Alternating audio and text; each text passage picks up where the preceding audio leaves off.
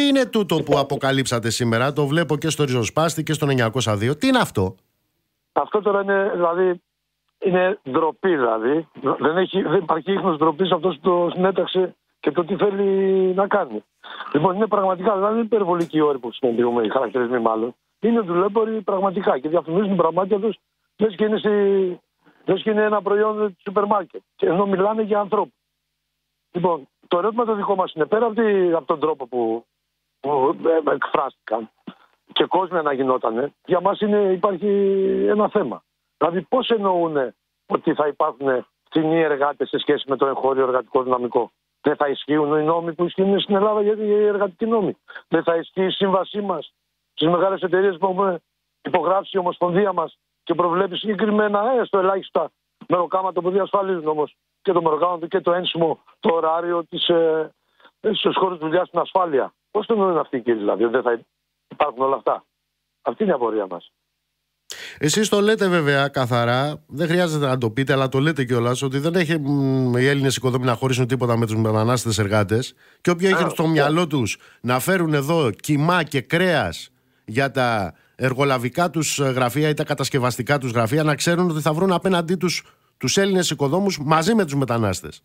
Βεβαίως, γιατί εμείς είμαστε περήφανοι για τον κλάδο, στον κλάδο μας για τους αγώνες που έχουμε δώσει και υπερασπιστήκαμε τους μετανάστες όταν ήρθαν και μαζί κατά δεκαετία του 90, αλλά και δώσαμε μάχες μαζί τους. Και έχουμε μεγάλες κατακτήσεις. Όπως και τώρα. Έχουμε την κατάκτηση της συλλογικής σύμβασης και στις απεργίες είναι έτοιμοι να, να κατέβουν στις απεργίες. Οι ίδιοι μετανάστες που είναι η πλειοψηφία του κλάδου έκλεισαν μεγάλους χώρους δουλειά στην προηγούμενη απεργία μας 8 Νοέμβρη. Μας έδωσε δυνατότητα που είδαμε ότι υπάρχουν δυνατότητες για να έχουμε νέες κατακτήσεις και, να, ε, και τις δεσμεύσεις του Υπουργού πέρα από τι άλλαξε ο κ. Γεωργιάδης, της κυβέρνησης να, να τις υλοποιήσει η κυβέρνηση. Δηλαδή την υποχρεωτικότητα της σύμβασης, τι το να πάμε όλοι οι οικοδόμοι ή αυτοί που έχουν ε, βάλει πρωτεύουσα μετά το 93 και τώρα βγαίνουν στα 62 σύνταξη, να κατέβουν στο 60.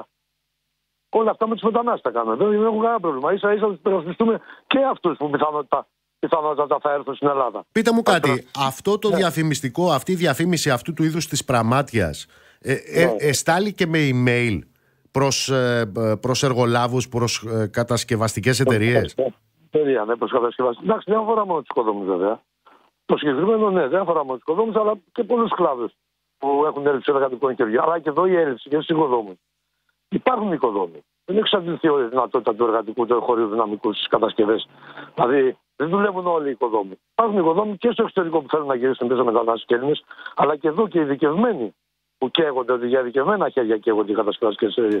Αλλά δεν μπαίνουν σε ένα κλάδο που ακόμα πληρώνεται όπως τα επίπεδα της κρίσης σχεδόν, που, που τα ένσημα κλέβουν τα ένσημα και το κράτος. Επιτρέψουν να πω κλέβει ένσημα. Τα υπεραγνώστων ένσημα που δεν αποδίδει στους οικοδόμους και μέσος όρος τα ένσημα που κολλάνε οικοδόμοι είναι 15, ενώ ξέρουμε ότι δουλεύουν και Σαββάτα Κυριακέ και βράδια, μην πω δηλαδή να δώσω έτσι λίγο. Μα εδώ, πέρα από αυτά που περιγράφετε, εδώ έχουμε ναι. κολαρογιακάδες δουλεμπόρους κανονικούς. Ακριβώς, ναι. Και οι ίδιοι εμπλέκονται, αν δεν κάνω λάθος, διαχειρίζονται και κόκκινα δάνεια. Δηλαδή και εμπλέκονται και σε πληστηριασμούς, πετάνε κόσμο, να το πω έτσι, Μάλιστα. στα σπίτια του. Δεν μπορείς να περιμένεις μεγαλύτερα από τέτοιες αλλά είναι πραγματικότητα. Θα μας δουν μπροστά τους και όποιο άλλο τρόπο σκεφτούν δηλαδή. Να πω ότι αυτή η αποκάλυψη της Ομοσπονδίας των Οικοδόμων έχει προκαλέσει την ε, παρέμβαση της αγγελίας του Αρίου Πάγου. Έχει αποστείλει ε, μετά την αποκάλυψη στον ε, διευθύνοντα την εισαγγελία πρωτοδικών παραγγελία στην οποία αναφέρει με αφορμή δημοσιεύματα του ηλεκτρονικού τύπου 902 και του έντυπου τύπου ριζοσπάστης ε, ναι. με τίτλους «Δικηγορική εταιρεία διαφημίσεις σκλαβοπάζαρο με φθηνούς μετανάστες εργάτες» και «Σύγχρονο σκλαβοπάζαρο» παρακαλούμε να διερευνήσετε τη διαλαμβανόμενη σε αυτά σχετική καταγγελία του Συνδικάτου Οικοδόμων Αθήνας. Ναι. Τι θα κάνετε, τι, πώς θα το χειριστείτε, πιο συγκεκριμένα; Εμείς καταρχήν τώρα, εδώ μπαίνει και ζήτημα. Εντάξει, εμείς δεν είμαστε αρμόδιοι τώρα για να ερευνήσουμε υπόθεση αν υπάρχει νομιμότητα, παρανομία ε, στο, γιατί λένε ότι είναι δικαιολογητικά, όπως λένε τα απαραίτητα δικαιολογητικά και έγγραφα θα είναι έτοιμα, δεν ξέρω εγώ τι. Δεν ξέρουμε και πώς. Κατά πόσο θα είναι νόμιμα αυτά. Δεν μπορούμε να τα διερευνήσουμε εμείς όμως. Αλλά πρέπει να διερευνηθεί αυτό. Μάλιστα. Μάλιστα. Σας ευχαριστώ πολύ, κύριε Γάκια. Να πούμε γι' αυτό. Παρακαλώ. Ότι θα έχουμε την διαμαρτυρίας έξω από τα γραφεία της εταιρείας. Mm-hmm. Το μου δεν θυμάμαι το.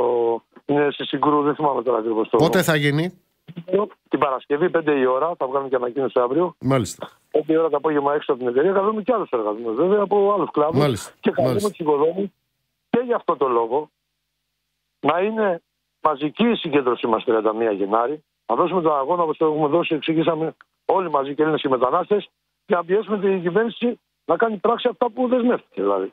Μάλιστα. Ωραία. Αύριο και εμείς εδώ θα είμαστε και θα δώσουμε συγκεκριμένα τα στοιχεία για την κινητοποίησή σας έξω από αυτούς Ωραία. τους εκλεκτούς κυρίους. Από την Ευχαριστούμε έδρα πάρα τους. πολύ. Να είστε καλά. Ευχαριστώ, Πρόεδρε. Yeah,